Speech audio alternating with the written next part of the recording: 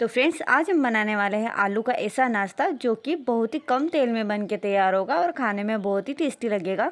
और ये सिर्फ़ दो से तीन मिनट में बन के तैयार होता है। तो चलिए शुरू करते हैं इसे बनाना। सबसे पहले मैंने यहाँ पे उबले हुए दो आलू लिए हैं। इन्हें हम अच्छे से मैश कर लेंगे। आप चाहो तो यहाँ पे ग्रेड भी कर सकते हो। बस हमें इतना ध्यान रखना है कि मैश करते समय आलू के अंदर कोई गुटली नहीं रहनी चाहिए। तो फ्रेंड्स, इस नाश्ते को आप एक बार बनाओगे तो मार्केट की कचौरी समोसा, सब खाना भूल जाओगे। आलू को हमने अच्छी तरह से मैश कर लिया है। चलिए इसके अंदर कुछ मसाले डालते हैं। और मसाले वो है जो कि अपने सारे घर में ही मिल जाएँगे। सबसे पहले हमें डालना है स्वाद अनुसार नमक। आधा चम्मच हम डालेंगे यहाँ पे लाल मिर्च पाउडर। आधा चम्मच चाट मसाला डालेंगे और आधा ही चम्मच हम यहाँ पे कच्चा जीरा डालेंगे और चुटकी पर हींग डाल देंगे। इस नाश्ते में आप हींग का यूज़ ज़रूर से करें और आधा चम्मच हम यहाँ पे कुटी हुई काले मिर्च डालेंगे। अब नाश्ते में अच्छा फ्लेवर लाने के लिए हम यहाँ पे कसूरी मेथी डालेंगे, इसे हम हाथों से क्रश कर लेंगे। अगर आपके पास कसूरी मेथी नहीं है तो आप यहाँ पे हरे धनिया का भी यूज़ कर सकते हो। सभी मसालों को हम आलू में अच्छे से मिला लेंगे। तो फ्रेंड्स, यहाँ पे मैं आपको याद दिला दूँ कि अगर आपको मेरी रेसिपी ज़रा सी भी पसंद आती हो तो मेरे चैनल को सब्सक्राइब ज़रूर करें। अब हमारे नाश्ते में बाइंडिंग लाने के लिए हम यहाँ पे दो छोटे चम्मच चावल का आटा डालेंगे।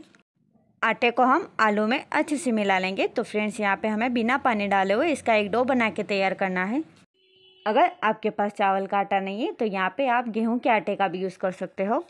और इस नाश्ते को आप कभी भी बना सकते हो छोटी मोटी बुक में या फिर सुबह शाम के नाश्ते में। और इसे आप बना के बच्चों के टिफ़िन में भी दे सकते हैं। चलिए शुरू करते हैं इसका नाश्ता बनाना। हाथों में थोड़ा सा हम तेल लगा लेंगे और नींबू जितना डो हम हाथ में लेंगे। और इसका गोल बनाकर हम हल्के हाथों से इसे प्रेस कर देंगे। तो फ्रेंड्स, यहाँ पे आप देख सकते हैं कि छोटी टिक्की हमने बनाई है। इसी तरह से आप सारा नाश्ता बना के तैयार कर लें। अगर आप बॉस बनाना चाहते हो या फिर सिलेंडर से बनाना चाहते हो तो आप यहाँ पे वो भी बना सकते हो। और अगर आप ये नाश्ता बच्चों के टिफ़िन में देना चाहते हो तो इस तरह से आप बनाकर रात को ही रख दें और उन्हें सुबह फ्राई करके टिफ़िन में दे सकते हैं। यकीन मानिए, आपको उनका टिफ़िन खाली ही मिलेगा। चलिए अब इनको करते हैं फ्राई। तो आज हम इस नाश्ते को डीप फ्राई नहीं, शेलो फ्राई करने वाले हैं। इसके लिए मैंने यहाँ पे एक बड़े चम्मच तेल को गर्म किया है। अगर आप ऑयली खाना पसंद करते हो तो इस नाश्ते को आप डीप फ्राई भी कर सकते हो।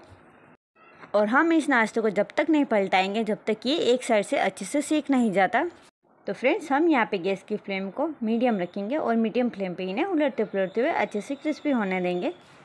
ये बन के तैयार इन्हें हम एक प्लेट में निकाल कर इसी तरह से बाकी का सारा नाश्ता बना के हम तैयार कर लेंगे। तो अभी बारिश का मौसम शुरू हो चुका है और हमेशा आपकी तरह आप पकोड़े खा के बोर हो चुके हैं तो इस तरह से ये नाश्ता आप ज़रूर से बनाना।